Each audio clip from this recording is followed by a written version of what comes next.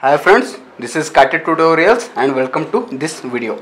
In this video, I am going to talk about cis-trans isomerism. It also comes under configurational isomerism. See, here I have got a molecule. Here we can observe that it is sigma bond and it is pi bond. And here two same groups are attached and here two same groups are attached. Let us consider the atomic uh, number of this uh, is more than this and same here. So this kind of molecule is known as cis or Z we call it. Because priority here also the bulkier group is above here also bulkier group is above.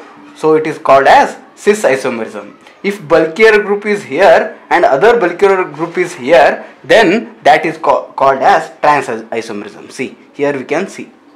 This is trans isomerism and both comes under configurational isomerism.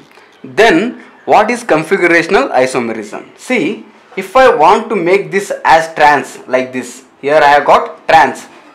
I, if i want to make cis as trans if i try to rotate this see the bond will break. This pi bond will break.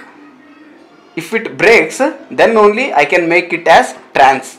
But the alkene is lost. Only single bond is there so this can't be rotated. So it is known as configurational. That is the molecule is not cannot be rotated.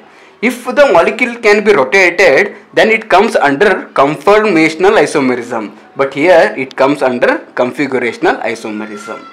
That is here i have got cis and it is trans. In detail i am going to explain in my uh, chalk and talk method. There you can watch those videos till then take care and have a great day. Bye